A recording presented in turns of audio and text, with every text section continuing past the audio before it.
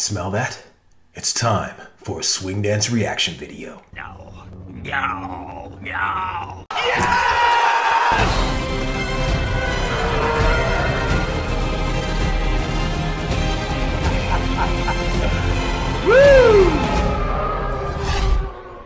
Greetings and salutations. Welcome to Street Smart Swing. My name is Jamin Jackson, also known as the Galactic Swing Dance Umpire!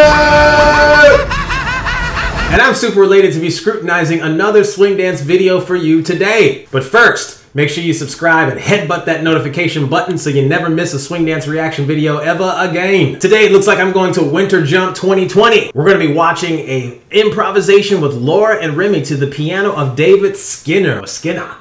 Not sure. But either way, both of these dancers are super dope. They've got reputations for throwing it down, and I want to see what they do in the moment. Do not let your hearts be troubled. I will be telling you the absolute truth about my feelings of this performance. So if you are someone who gets triggered by the truth, this is not the place for you. All right. Yes. Ah. So far, I've watched a couple of these with some of the other uh, performers and it's been hit or miss. It's been hit or miss, and I don't know what I don't know what to expect on this one. It's gonna kind of surprising. For me, it's kind of hard to dance with the piano, like as the main thing. You know, when you get that in like a jam or something, and that's the part where you've got to show off. It's kind of hard. It's it really is. Whoever gets the trumpet is like automatically the one where everybody pays attention to. All right, Piano Man, David Skinner. Let's see what's up with Laura and Remy.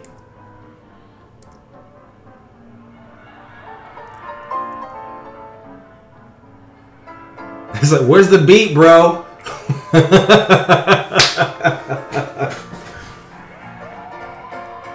okay, so they're gonna up tempo. Yes, sir.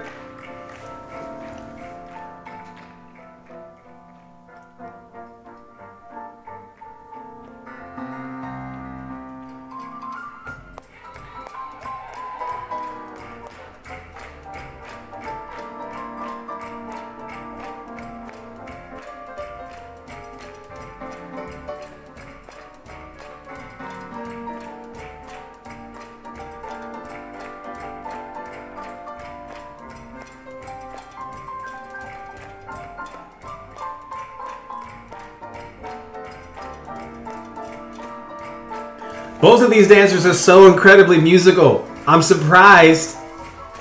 They're they're showing a tremendous amount of restraint right now. I don't know if they're just waiting for the song to modulate a lot, but it's really cool to see this. I like that little move that they did right there. That was that was cool.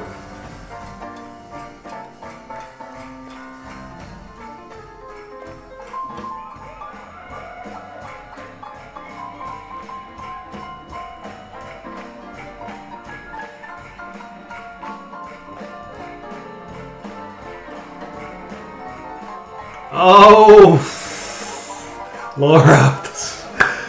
That footwork, folks. Okay. So that's that's what I'm normally used to seeing with this couple. Lots of really interesting syncopations with the beat.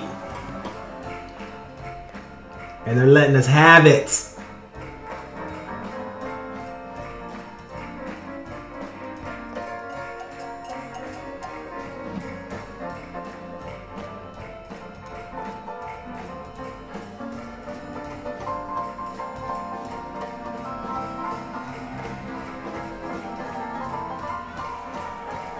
See what they were going for. Oh, the slip slops, folks. Did you see that?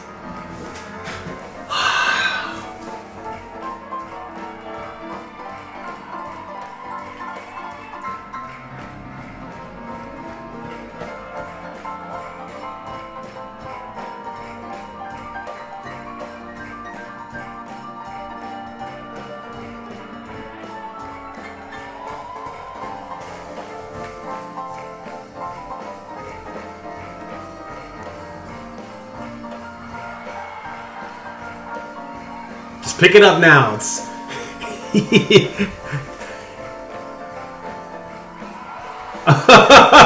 yes.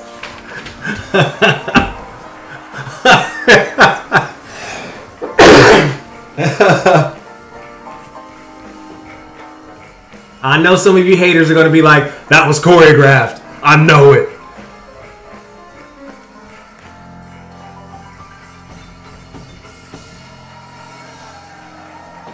All right. what are they doing? Is that a snake? Belts and shoes. That's good. That's a new one. That was really, really good. Let's talk about it. Man, man, man. I gotta tell you guys, I was a bit I was a bit worried at the beginning of this when David was on the piano and he started playing and I thought, you mean they're not going to have any rhythm section? That's not right, man, because everybody else had some rhythm section, some drums and some some feeling, some bass. And uh, he was he started off a little slow, and I thought the dancers were kind of a little worried too. But then they kind of kicked it in, and they gave him the right kind of tempo. And then when the beat kicked in, oh, that was that was so good. That was so good. I will tell you guys, I I thought this was really evenly matched with all three of them. I mean, all three meaning the the group in concert. You had the piano player David. You had the uh, the leader was Remy, and the follower was Laura. I think they all meshed well. It's a very rare thing when I can see the dancer's personality match the tone of the music. That's sometimes it's just a naturally organic thing for certain dancers. They just kind of fit a personality. They're you know they're a little bit more syncopated or they're a little bit more low key and there's certain instruments just that that accompany their personality better than others. I gotta say this was i did not expect this one to match so well. I really did not expect it. I didn't. And i, I think uh, I, you got to be careful. Like as a judge you got to be super careful because if you have a bad start you can be super cynical and you're just, you know, if anybody does anything good after that bad start, you're like, we'll do 20 more good things. And I'll forgive that little blunder in the beginning. you know, I don't want that as a judge. I, I just, I like to put myself in the moment and just kind of feel what the audience feels. And I got to tell you, the fact that they exercised a tremendous amount of restraint, that was quite impressive. I can tell you now, I remember the majority of their syncopations that they did with their footwork simply because they didn't do it on every single phrase. A lot of dancers do that like all the time. Nothing wrong with that. We can all see what's happening, but after a while, something within our brains begins to just kind of go on autopilot and you no longer pay attention to what's actually happening because it looks like it's just too much and in this case, there were like at least three or four things that they were doing with their footwork that just really stood out because earlier on they weren't doing a whole bunch of stuff. They were just kind of showing us how they looked doing basic swing dancing. That's really that's really huge, man. These are mature dancers and that's a huge lesson, especially for you younger dancers out there who have a lot to say when I came into swing, I had a lot to say. I was already a professional dancer. I had a chip on my shoulder. I was like, this, these nerdy kids are not going to beat me at this. That was my hip hop attitude. When I first saw Jam Circle, I saw those guys out there. I was like, no, I'm sorry. That's not going to be the case. I'm going to come in here and slaughter everybody. And then the next year, I went back to that event and I did do that. But I changed in that process. I realized this is the kind of dance that is a bit more mature. It's not just battle mode the entire time. It's not just showing all your fancy stuff. It's not just about all the crazy ideas.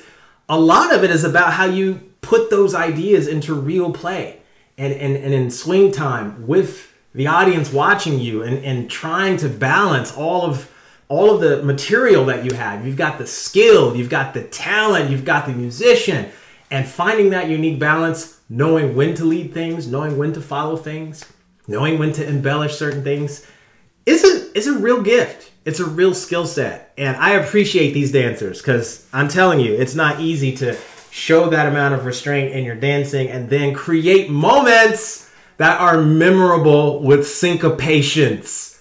It's super easy to do them too much. And they did not do that, guys. This was really cool.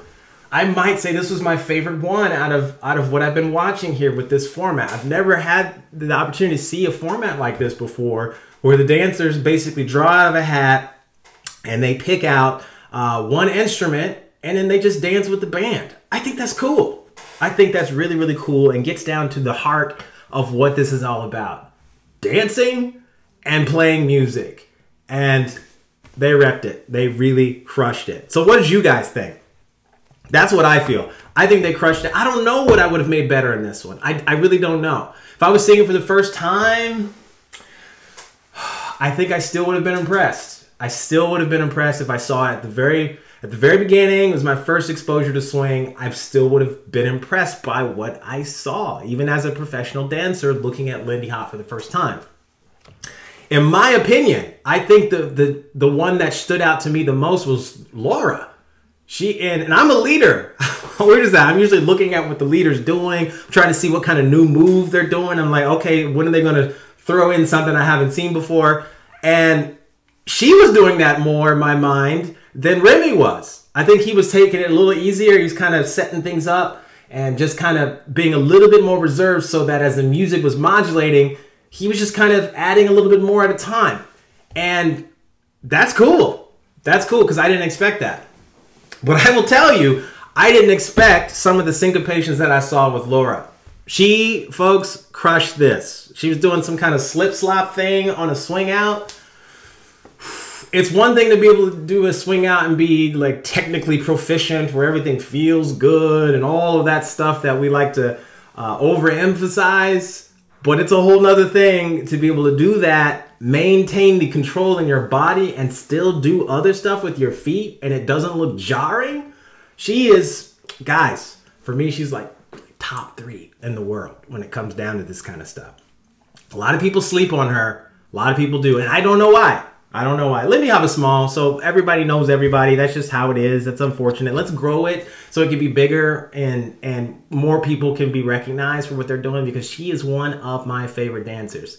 Tell you a quick story. She was actually the very first event I went to was in Texas, in Houston, Texas, years ago. These people were wanting me to be a part of their board of directors, and I was like, oh man, I don't want to do this. What's this?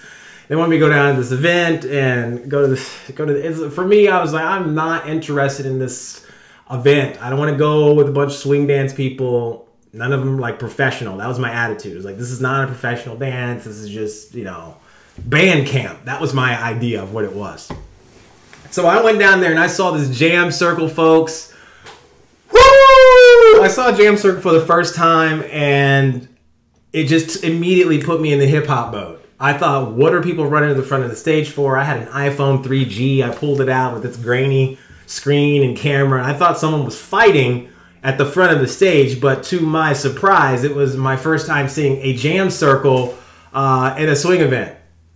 And it wasn't just any jam circle. These were some of still the best dancers of all time. And I'm going to make a new uh, top 10 list of all time so you guys can see that. But she was also in that jam circle, and I was blown away. I was blown away. She was also the first person I danced with that was a professional that helped me really understand like what Lindy Hop feels like, this idea of call and response. You know, I couldn't figure out why everything looked choreographed. You know, I was just like, how do you where's the one? How do you get here? You know? And once I realized it was a delay every time I moved and she responded to that in a delayed way, I'm thinking like, you know, what is this? Like, what have you done to me? This is a weird rubber band effect. But she was the first professional. And I learned a big lesson with that. And that's always to be sharing what your knowledge is with those who are coming up behind you. Not just being standoffish, having the skills and sitting in your cat's corner, not doing that, but really reaching out to those people who are hungry to do this dance so they have a real good context and uh, parameter of what this really should be like if you're good. Because I would have had no idea. I might not, I would have probably gone up to my hotel room and went to bed and I wouldn't have been able to see that jam circle or be inspired enough to wonder, like, what is this thing that I feel like it's a rubber band? All of that because she asked me to dance. How crazy is that?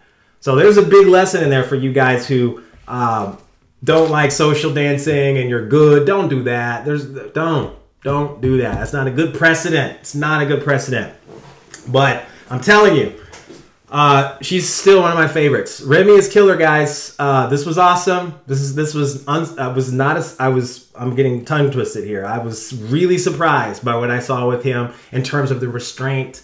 I did not expect that. I just thought he was just going to do a bunch of syncopations, do a lot of different tricks, and he didn't do that, which was like, that's that's cool. It, it beat my expectations. I can't complain.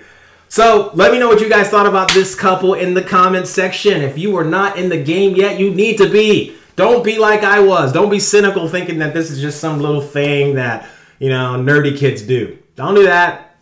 It's really fun. It can be something that can change your life. It's changed my life. I'm, i know so many more people in my world now uh, for the good. That they've enriched my lives all because of swing dancing, if you can believe that. And it looks difficult but it's simple. I will say that it's not easy, but it is simple. And so check out my fundamentals membership if you're looking for a, a, very streamlined, clear, basic approach to be able to mature quickly at this dance and get to the point where you don't necessarily have to always have a teacher to uh, reassure you if you're doing something right or wrong. So I spent over 10,000 hours to figure this out and it's my gift to you. So check that out if you guys want to get better at swing dance. If you guys need some inspiration and you're you were like me, once I got good at Lindy Hop, I was thinking, hey, let's just keep creating new stuff all the time. Let's add to this Lindy Hop legacy. Let's just keep adding some new stuff. Um, check out my free courses. I got like 25 to 30 free courses you can get um, just to get a feel of what it's like being a part of our Street Smart Swing community. I'm creating a lot of stuff next door in our home studio. Um, sharing it every Monday and Tuesday with our online community, and I don't want you to miss out. So check that out. I will see you guys' comments below. Make sure that I get a chance to see you in one of my classes online. Take care.